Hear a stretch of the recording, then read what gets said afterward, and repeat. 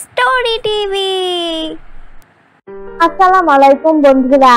আজকে আমি তোমাদেরকে যে গল্পটি শোনাবো, সেটা হচ্ছে নেল পলিশের গাছ। নেল পলিশ দিতে অনেক পছন্দ করো, তারা এখনই আমাকে কমেন্ট করে জানাও। বন্ধুরা, আমি তো নেল পলিশ দিতে অনেক পছন্দ করি।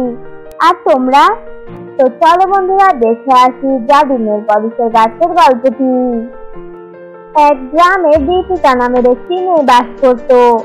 দীপিকা একটি কলেজে পড়াশোনা করত। ও পড়াশোনায় অনেক ভালো ছিল। ও বড় হয়ে একটি ফ্যাশন ডিজাইনার হতে চেয়েছিল। দীপালির পরিবারে ছিল ওর মা আর বাবা। দীপালির বাবা একটি অটো চালাতো।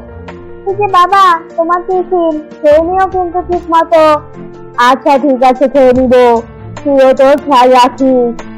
একদিন দীপালি ওর কলেজে ক্লাস করছিল।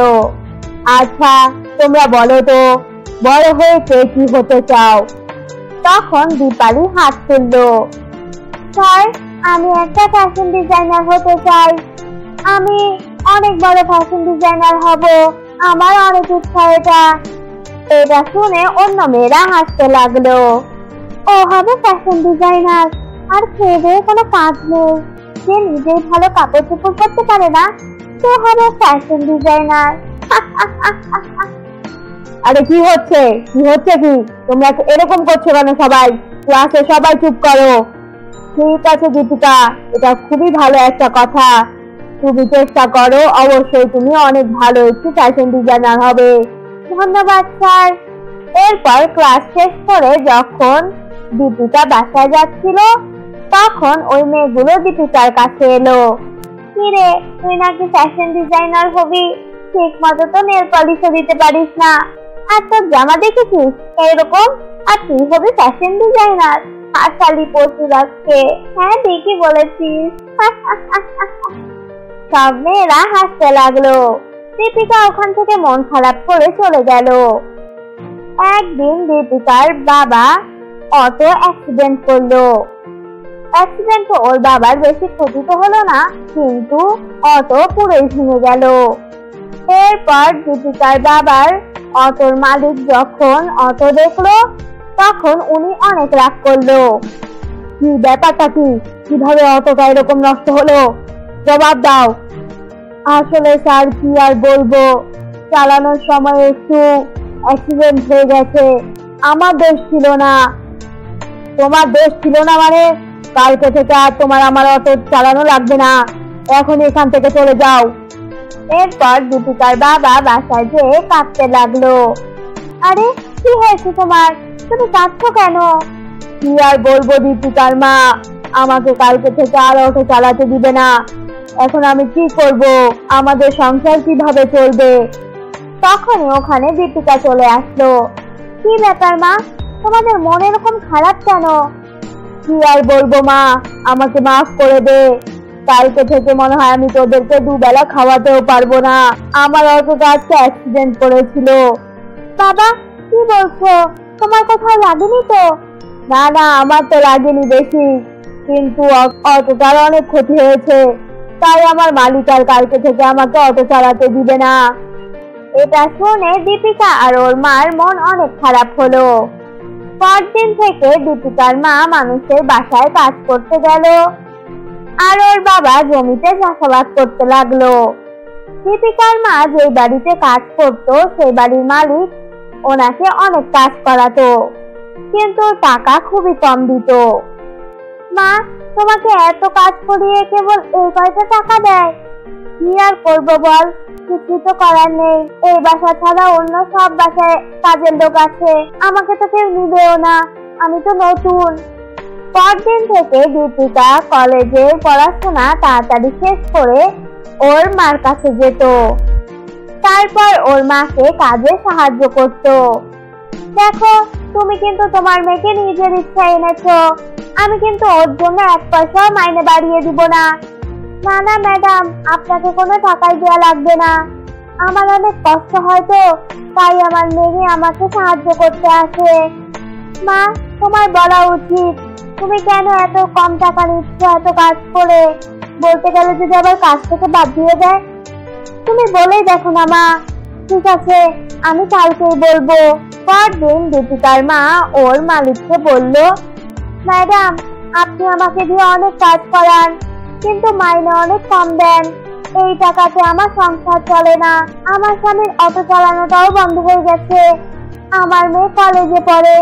ওর পড়াশোনাও শেষ হয়নি। এই টাকা দিয়ে আমরা কীভাবে চলি বলেন তো? ও, বেশি কথা শিখে গেছিস, তাই না? এখনই আমার বাড়ি থেকে বের হয়ে যা। আমি আর এক মুহূর্ত তোকে আমার কাজে রাখব না। বের হ এখনই। না না, ম্যাডাম, ঠিক আছে, বাড়ানো লাগবে না। না, কোনো কথা শুনব না। বের হ আমার বাসা থেকে। এরপর দীপিকার মাকে ওই মহিলা বের করে দিল। মা, কি হয়েছে? তোমার মন এত খারাপ কেন? কি আর বলব? তোর কথা শুনে বলতে গেলাম টাকা বাড়িয়ে দিতে। উনি আমাকে কাছ থেকেই বাদ করে দিল। এখন আমরা করব কি? তোর বাবার এই কিছু টাকাতে আমাদের সংসার কীভাবে চলবে? আমি কিছুই বুঝতে পারছি না। এরপর দীপিকা জঙ্গলে চলে গেল। আমি আর বাসায় যাব না। আমার মার কাছে মুখ দেখাতেই লজ্জা লাগছে। অনেক দূর হাঁটার পরে দীপিকা জঙ্গলের মাঝখানে দেখল একটি গাছ। সেই গাছের ভিতরে অনেক নেল পালিশ লাগানো। গাছে ফল ধরে শুনেছিলাম, ফুলও ধরে, কিন্তু নেল পালিশ ধরে এটা প্রথমবার দেখছি। এরপর ওখানে একটি পড়ি এলো। মেয়ে, এটা আমার জাদুর নেল পলিশের গাছ। আমি তোমার সবকিছু জানি। কিছুই আমাকে বলতে হবে না। তুমি এখান থেকে নেল পলিশ নিয়ে যাও। তুমি প্রত্যেকদিন এখান থেকে নেল পলিশ নিয়ে যাও। এরপর তুমি একটি দোকান দাও। সেখানে নেল পলিশ বিক্রি করো। ঠিক আছে পড়ি তারপর দীপিকা অনেকগুলো নেল পলিশ নিল। এরপর ও প্রথমে রাস্তার ধারে নেল পলিশ বিক্রি করতে লাগল। দশ টাকা দশ টাকা দশ টাকা। যে নিবেন নেল পলিশ নিয়ে যান, দশ টাকা দশ টাকা দশ টাকা। গ্রামের অনেক মহিলারাই ওর থেকে নেল পলিশ কিনতে এলো। ওই দিন ওর সব নেল পলিশই শেষ হয়ে গেল। এরপর দিন ও আবার নেল পলিশ নিয়ে আসলো। আস্তে আস্তে ওর অনেক টাকা ইনকাম হলো। ও একটি নেল পলিশের দোকান দিয়ে দিল। এর সাথে ও ফ্যাশন ডিজাইনিং এর জন্য নিজের ডিজাইন দিয়ে জামা কাপড় বানাতে লাগল। এরপর ওগুলো ওই দোকানে বিক্রি করতে লাগল। এভাবে করে ওর অনেক টাকা আয় হলো। বাবা, মা, এই দেখো, আমার কতগুলো টাকা আয় হয়েছে। আমার ব্যবসা অনেক ভালো চলছে। মা, তোমাকে আর কারও বাসায় কাজ করা লাগবে না। আর বাবা, তোমাকেও কিছু করা লাগবে না। ঠিক আছে, আমি তাহলে তোকে তোর দোকানে সাহায্য করব। ঠিক আছে বাবা, কিন্তু বসে থাকবে। তোমাকে কোনো কাজই করতে হবে না। আচ্ছা ঠিক আছে ঠিক আছে। আরে, গ্রামে একটা নতুন দোকান দিয়েছে না দীপিকা? দীপিকার দোকান থেকে কিনেছি। ওর কাছে অনেক ভালো ভালো নেল পলিশ আছে। আর ও হাতে অনেক সুন্দর নেল পলিশ আর্ট করে দিতে পারে। কোন দীপিকা এটা? ওই যে, ওর মা যে কাজ করে বাসায়। আরে, তোমার বাড়িতেই তো কাজ করতো। ভুলে গেছে নাকি? এটা শুনে সাল্লা অবাক হয়ে গেল। কি বলে? গরিব ছিল ওরা এখন এত বড়লোক কীভাবে হলো? আমাকে ব্যাপারটা দেখতে হবে। তারপর একদিন সাল্লা দীপিকার পিছন পিছন গেল। সে দেখল দীপিকা একটি জাদুর নেলপালিশের কাছ থেকে নেলপালিশ নিচ্ছে।